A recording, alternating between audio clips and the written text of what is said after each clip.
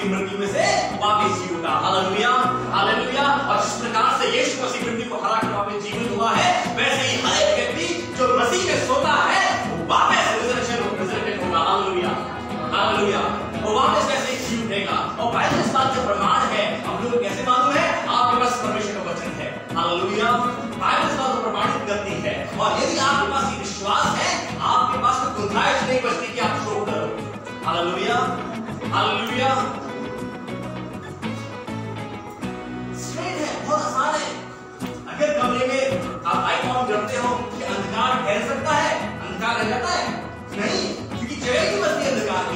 उसी प्रकार से यदि आपके अंदर ये विश्वास है कि आपका यीशु मसीह मृतों में से जी उठा है तो आपके अंदर अंधकार के लिए या पूरे शिक्षक के लिए, कोई जगह नहीं बचनी चाहिए कि आप शोक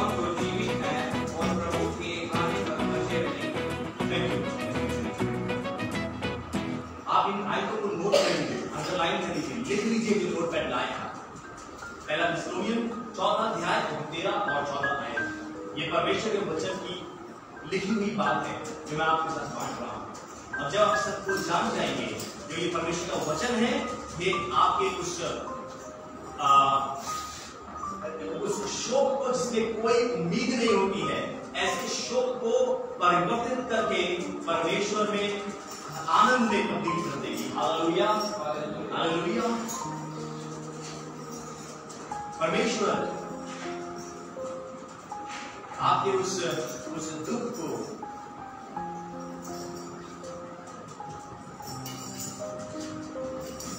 उस दुख को जिसमें ना उम्मीदी है,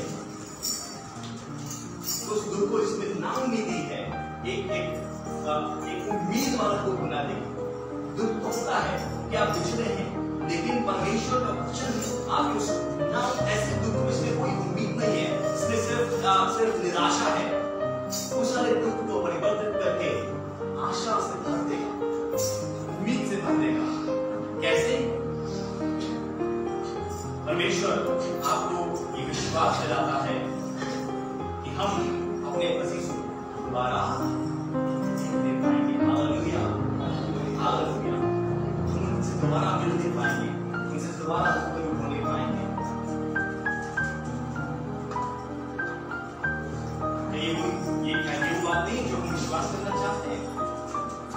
हैं ये नहीं है हम चाहते हैं यही तो हम चाहते हैं और प्रभु का वचन यही बात करता आप दोबारा से मिलने पाएँगे